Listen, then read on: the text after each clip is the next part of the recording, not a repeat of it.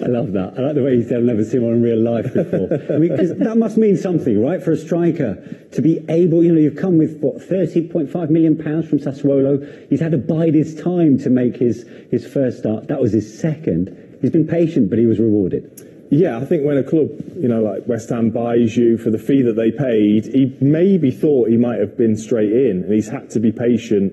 And um, and for that, I, I commend him because every time I've seen him, his attitude's been right, mm. and I think he's totally different to Antonio. We can't expect him to be like Antonio, who runs the channels, who chases down everything. He's not that type of player. You can build through him, and I thought he showed that today with his performance. And, and it was between him and Bowen, I think, for for player of the match.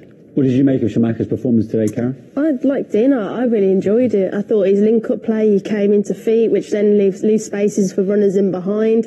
Held on to it well. He got his goal. Um, and then for him personally, after his goal, he started to see confidence. Then that confidence starts to run throughout the rest of the team. We can stick it up to someone, he can hold it, he can link it in.